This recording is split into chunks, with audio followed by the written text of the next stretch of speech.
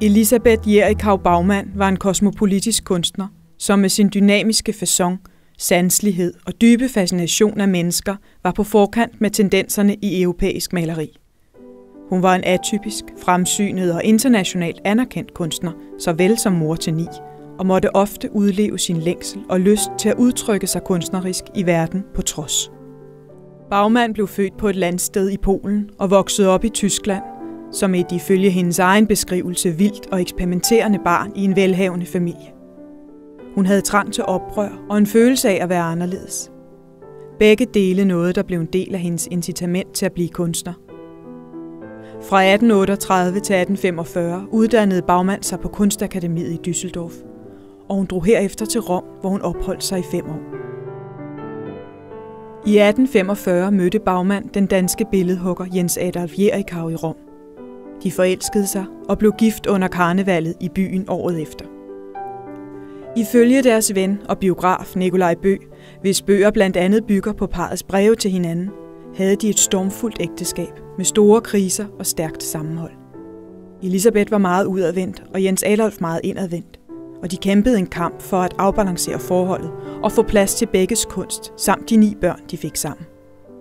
I 1849 blev Jens Adolf Jerikau udnævnt til professor på Kunstakademiet i København, og parret flyttede ind på Charlottenborg. Her havde Bagmand hårde odds imod sig. Ikke kun var hun en af de få kvinder i en meget mandsdomineret branche, hendes tyske sprog og uddannelse vagte også modstand på grund af treårskrigen og den efterfølgende trang til nationalisme i Danmark. Ikke desto mindre lykkedes det Bagmand at blive populær hos den almene dansker, og hun skabte flere værker, som fik betydning for danskernes bearbejdelse af krig. Hendes billede, Danmark, blev således et populært nationalsymbol og blev trykt på både kaffedåser og tændstikæsker. I 1866 blev Bagmans kunst også officielt accepteret, da Statens Museum for Kunst købte hendes maleri En såret dansk kriger, som Bagman i vanlig selvsikker stil selv havde anbefalet købet af i et brev til den daværende kulturminister. I det hele taget forstod Bagman at bruge sine kontakter, og udover at være en yndet portrætmaler for det engelske og danske kongehus, såvel som for politikere og forfattere som H.C. Andersen, fik hun, som en af de første europæere, og fordi hun var kvinde, mulighed for at overnatte og male i flere haremmer i Konstantinopel. Her kunne hun dyrke billedet af den sanselige og sensuelle kvindekrop, som optog hende meget, og som gik igen som motiv i flere af hendes mest betydningsfulde malerier.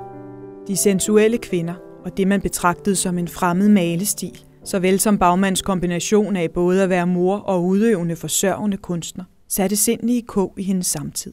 Bagmand holdt dog ved sin metier til det sidste, og i 1881, samme år som Bagmand gik bort, udkom hendes bog Brogede rejsebilleder.